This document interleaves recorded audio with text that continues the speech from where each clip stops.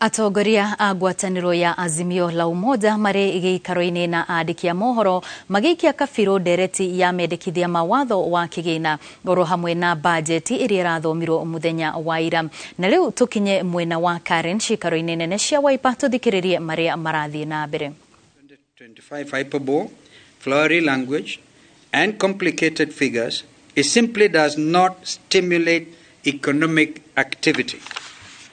It does the opposite and seeks to tax every adult Kenyan 24,000 shillings more, additional to all what we all know as, for example, the housing tax and the very lean pay slips.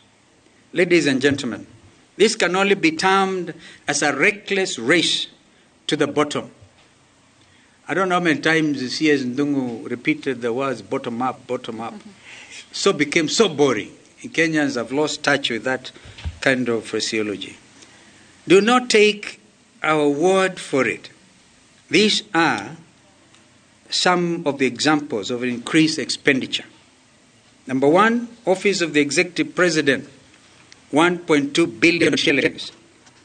Office of the Deputy President, 678 million shillings. Minister of Defense, 11 billion shillings. Addition. Addition, all these additional. Addition. Foreign Affairs, 1.4 billion. National Treasury, 6 billion. One wonders what the Treasury has to spend uh, this money for. Minister of Transport, 1.3 billion. Minister of Cooperatives, 2 billion. This is a 23.6 billion increase in recurrent expenditure. This is a budgeted corruption in the name of tea, mandazi, and flowers. This is not development, but sheer eating. It's their time to eat, so they believe. Further, we highlight the following misplaced allocations. Number one, the National Treasury has 26 billion more in the name of development. Two, the State Department for Devolution has an increase of 2.6 billion in development expenditure. If this regime believes in the success of devolution, then these funds should form part of the equitable share to the county governments.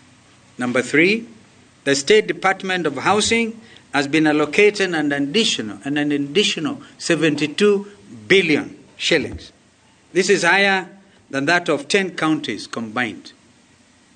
What is the line item 1071 1066 00? Or is it the sign of the beast? Some wonder. Strategic response. This is what it is. That particular line item is entitled Strategic Response to Public Initiatives. Strategic Response to Public Initiatives. That comes to 2.5 billion shillings. If that is not budgeted corruption, what is it?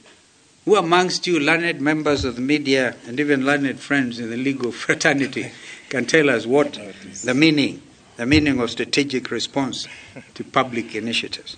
We estimate one trillion shillings as budgeted corruption for the next financial year. In light of these grievous transgressions, we as a coalition urge the international community, the civil society organizations, and concerned citizens, both at home and abroad, to stand in solidarity with Kenyans in condemning Kenya Kwanza's regime's blatant disregard for the public good.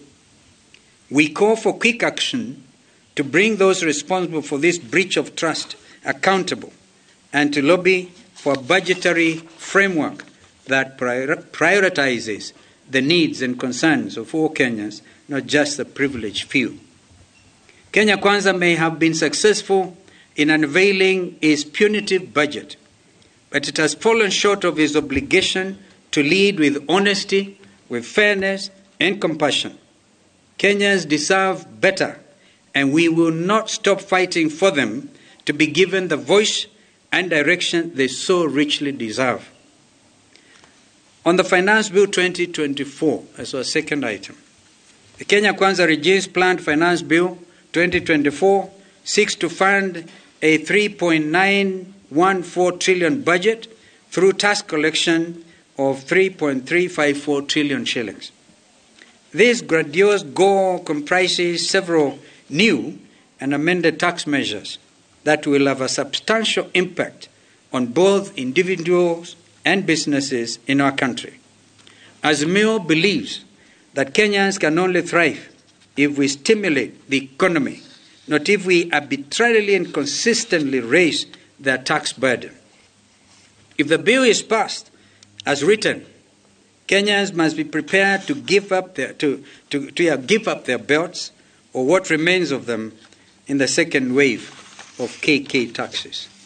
We know that ordinary Kenyans, Mamamboga, boda boda riders, and the people of Mjengo and Kokoteni have nothing to gain from this bill because Kenya Kwanza is targeting them for the second time with a double taxation plan that aims at to increase taxes by approximately 24,000 shillings per adult Kenyan per year.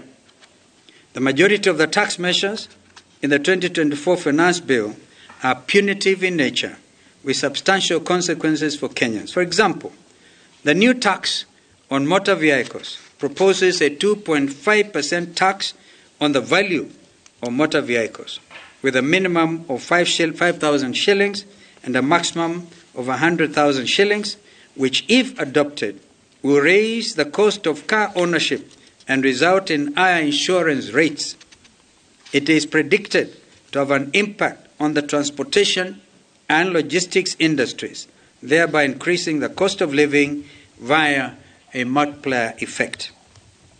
The new withholding tax on digital marketplaces levies um, a 20% tax on non residents and 5% on residents' income from digital marketplaces. This tax, this, this will raise tax compliance expenses for digital marketplace operators, perhaps leading to higher pricing for consumers as businesses pass on the tax burden.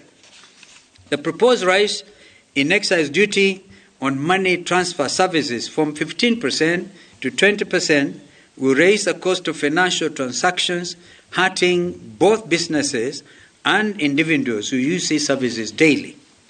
The significant economic presence tax, which proposes to replace the digital service tax with a 30% tax on non resident digital service providers' taxable profit, calculated as 20% of gross turnover, will significantly increase the tax burden on digital service providers from 1.5% under DST, abbreviation for digital service tax, to an effective rate of 6%.